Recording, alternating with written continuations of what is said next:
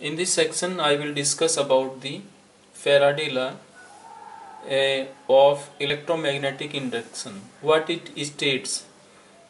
It states that whenever the magnetic flux linked with a coil is changed an induced EMF is produced in the coil and it will last as long as the change in the flux continues.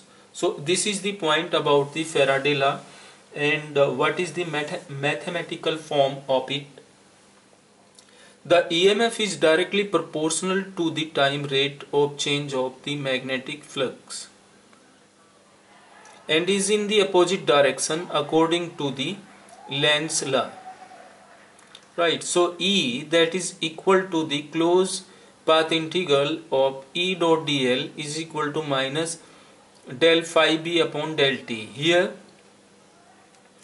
in this you see that this is a coil and this is a magnet bar when basically it moves forward and backward direction it basically change the flux associated with this coil right? And the two ends basically of this coil is connected with the galvanometer. So when the flux change here right associated with this coil EMF which produce inside it produce the deflection into the galvanometer. So this is basic idea of the Faraday law right? So let us see how the Faraday laws can be converted into the differential form by using the Stokes theorem. So you have seen here that there is a open loop or a coil right? A bar magnet.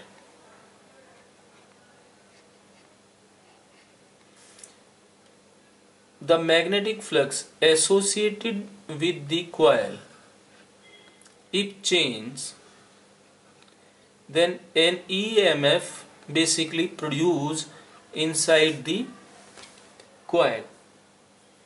This is the point. So it is not possible if you keep the bar magnet at fixed position right? Here this is N S and this is E coil if you fix it here and magnetic field lines magnitude is not changing then no EMF will produce inside the coil. It will produce only when you move the bar magnet into the forward and backward direction. So that is shown by the d phi b upon dt right? So phi b is the magnetic flux. First of all we have to define the magnetic flux here. Phi b is the magnetic flux mathematically that can be defined as b dot ds either with the closed surface integral or open surface integral. But now the point is here that how you will determine that you have to consider here closed surface integral or the open surface integral. This is the physical situation. You know this is a circular ring a circular loop और a coil the central part of it is open और close you know that is open so it means the surface of the coil is open so the area for the flux the flux passing through the open surface so which type of area you will consider open और close obvious you will consider the open surface. So phi b is equal to open surface integral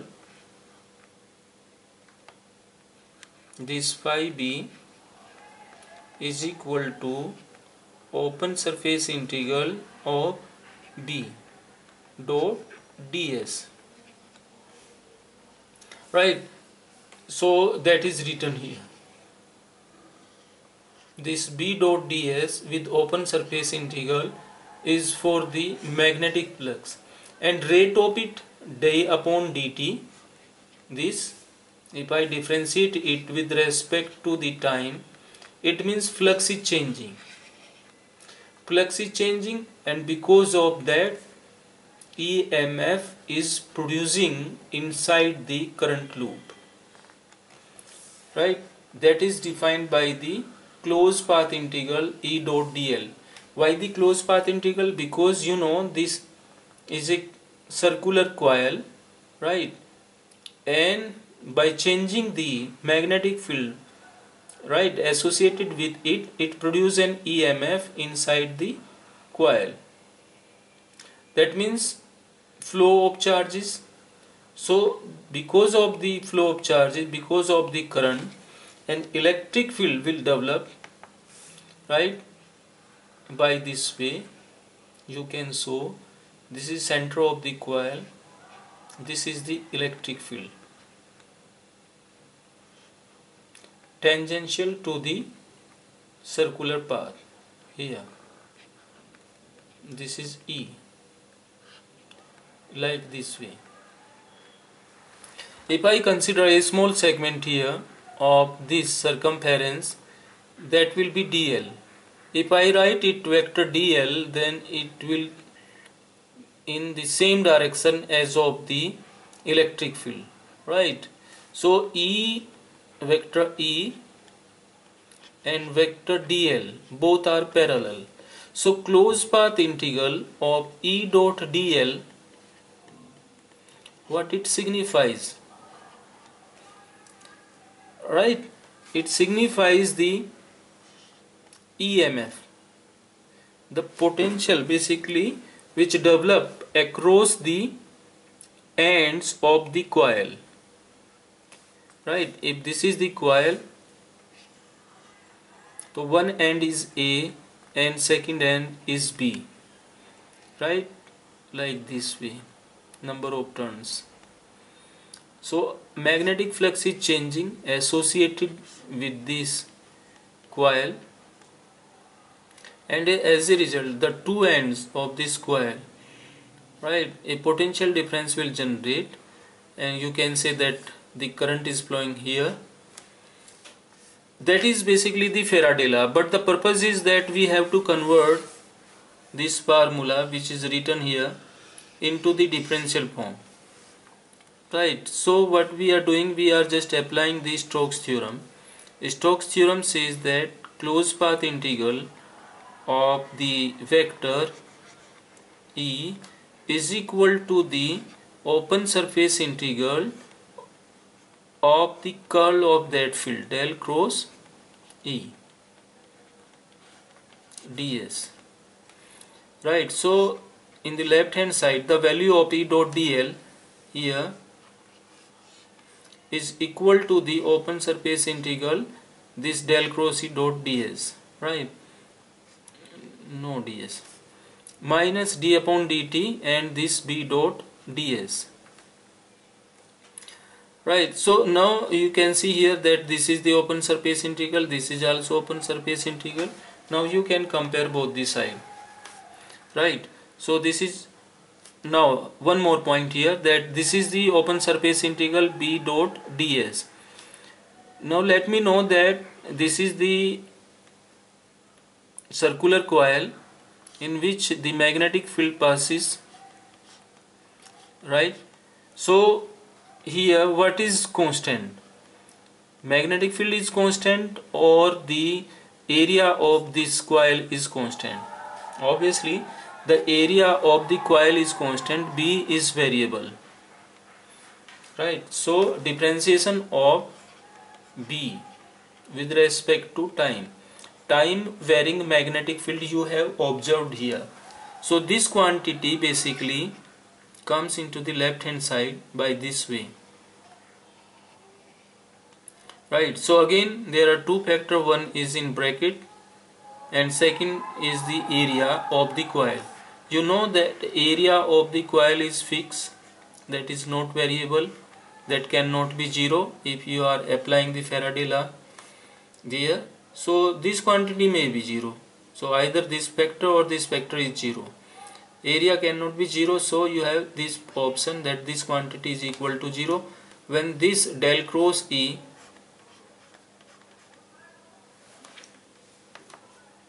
this del cross E plus dB upon del T. This is del B upon del T is equal to 0 and after simplification of it you can see here that this can be written as one of the curl equation. Del cross E is equal to minus del B upon del T so uh, th this is the possible way to convert Faraday's integral equation into the differential form. Here the integral equation is this one. And differential form you can see that is this one del cross E. So curl of the E it means that you had considered here this circular coil right? And closed path integral of E dot dl signifies that this is equal to this. If you take the E tangential here obvious tangential tangential at this point. So this total right? E dot dl over this closed path is equal to the if you consider a small small curl inside it and add to all them then the sum of these curl will be equal to the this one that is E dot dl right? A pictorial view of that. Sum of these small small curl if you add that is basically equivalent to this one.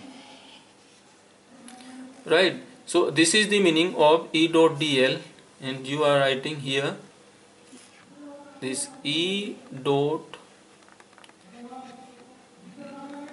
dl is equal to open surface integral curl of E